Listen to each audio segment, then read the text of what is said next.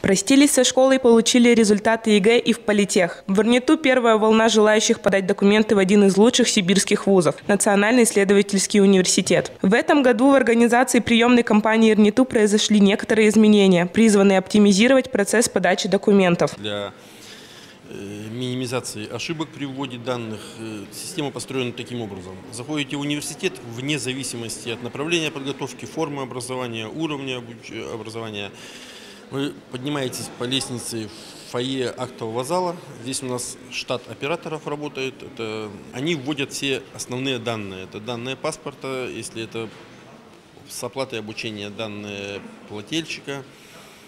То есть общие данные вводятся централизованно операторами. Далее выдается такой листочек с идентификационным номером. И с ним абитуриент спускается уже в институт.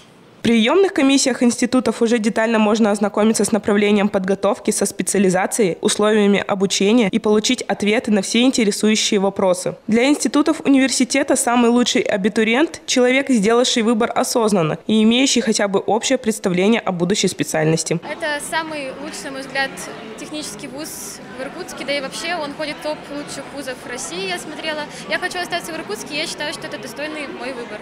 А, многие мои знакомые, родные здесь учились, мой дедушка, а, мой друг, и я слышу такие очень хорошие отзывы об учителях, преподавателях, об образовании в целом. Я ходила на День открытых дверей в РНТУ, там очень показывалась большая деятельность студентов, как это интересно, как это перспективно, как это развивает себя.